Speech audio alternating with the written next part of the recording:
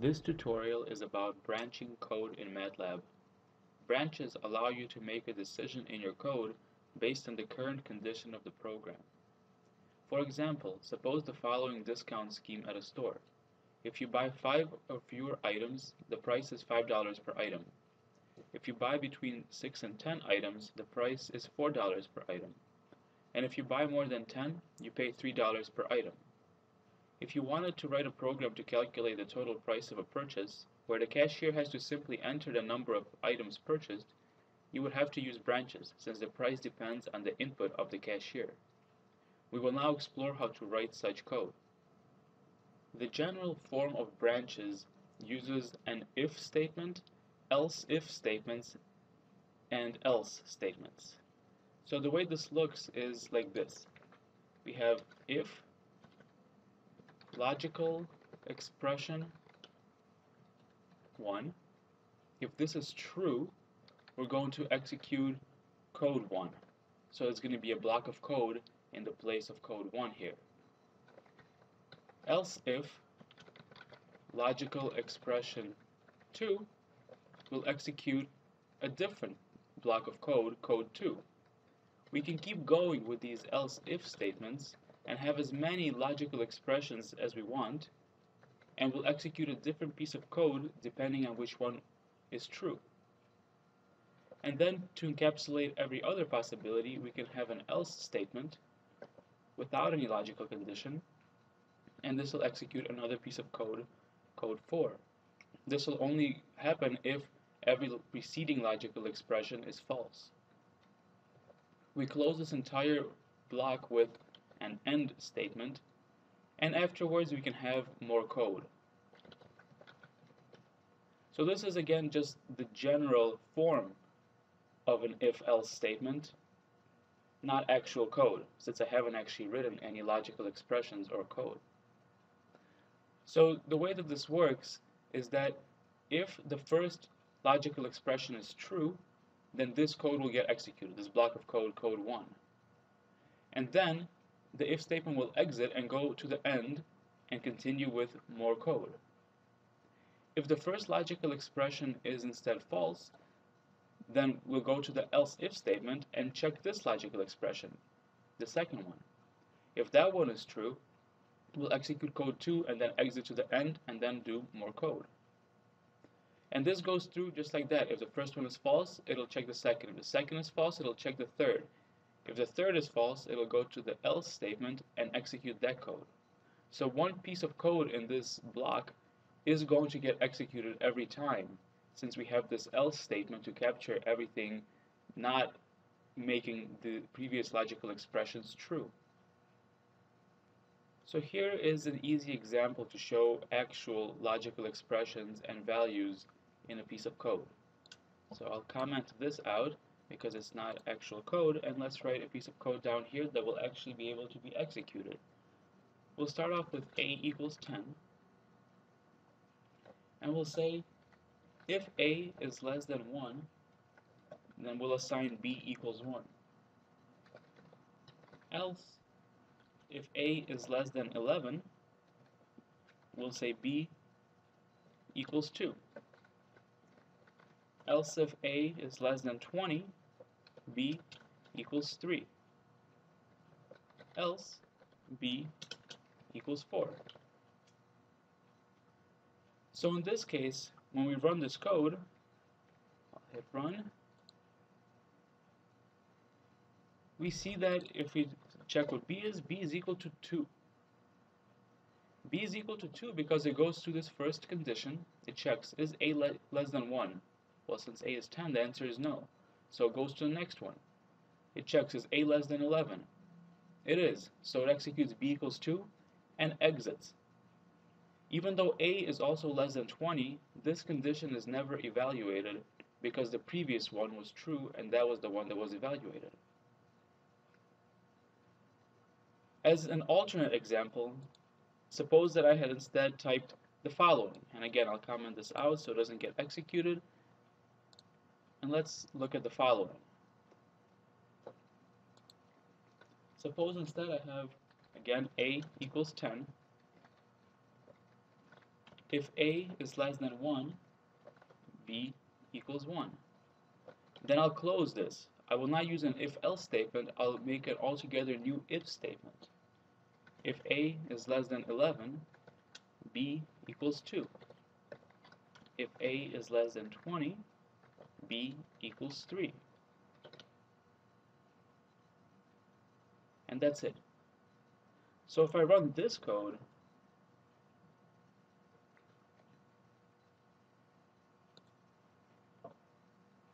I get that b is now equal to 3 instead of the 2 that it was equal to before.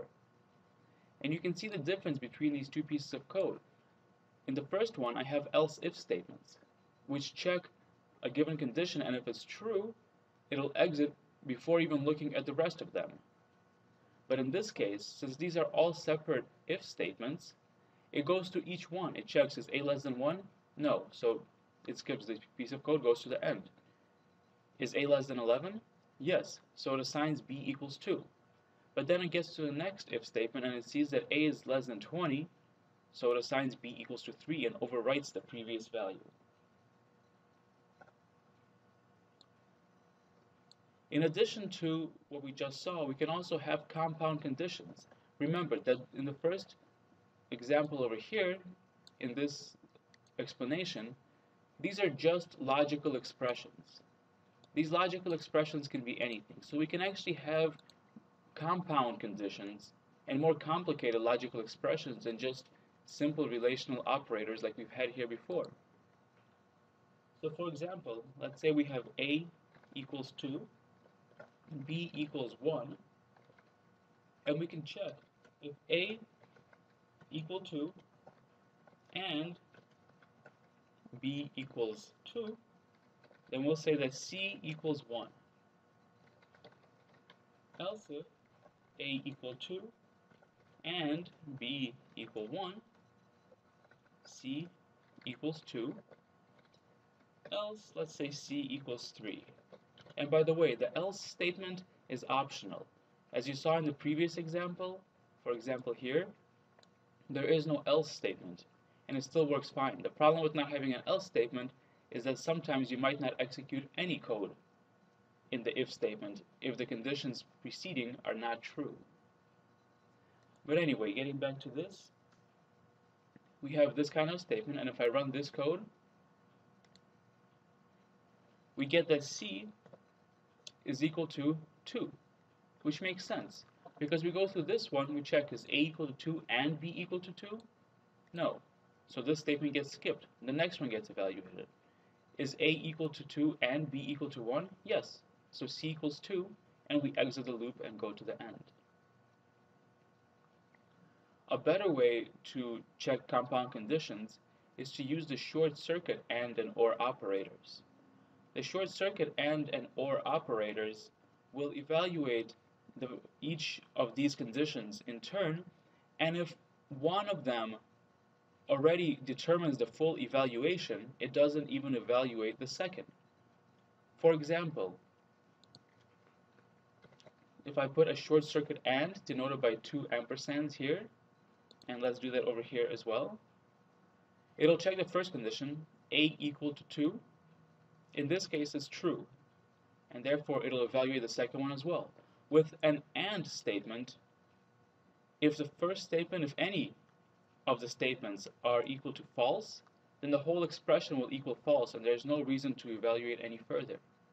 With an OR, denoted by two vertical lines as opposed to one for the usual OR, if any of the statements are true, then the entire expression must be true, and therefore there is no need to evaluate the rest. In this case, it makes no difference. Since A is equal to true, therefore the second one has to be evaluated since the total value of this AND operation depends on the second value. If that one's equal to 0, the whole thing is 0. If it's equal to 1, then the whole thing is 1. But in general, the short circuit operators are a good idea to use. But they are only valid for scalar expressions, scalar logical expressions. That is, if this evaluated to a vector of logicals, then this operator would no longer be valid.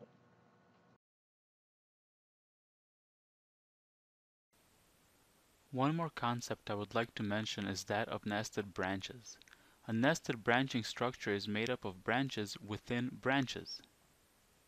And this can take the place of compound conditions.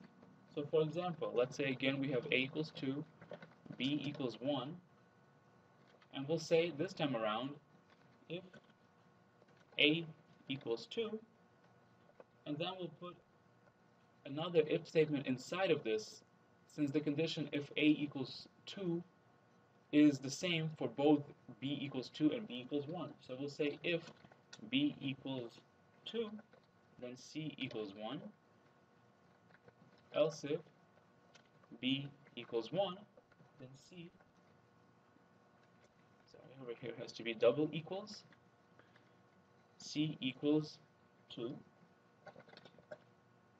else c equals 3, and we can close that and just for completeness we'll say else in the outer loop I mean in the outer branch we'll say else c equals 3 and we'll end that so this will do the same thing as before it'll check if a is equal to 2 it'll do all of this however if a is not equal to 2 it will assign c equals 3 just like over here, when we check if a is equal to 2 and some condition on b, else if a equal to 2 and some condition on b, if a is not equal to 2, it'll set c equal to 3. So that's this outer if statement, if else statement. Then the inner one, if a is equal to 2, we'll check the conditions of b and assign c appropriately, just like in the example before. One important thing to point out is you may have noticed that I accidentally placed a single equal sign when I was checking the condition of b equal to 1. Keep in mind that 1 equal sign is an assignment operator, whereas 2 is an equality check. It's very important to keep those two straight because otherwise you're going to get errors in your program. So overall, branches are really, really useful in all programming languages because they allow you to make decisions in your code based on the conditions of the current program. These are really important to keep in mind and to learn the syntax of properly, and you will find many uses of these in your programs.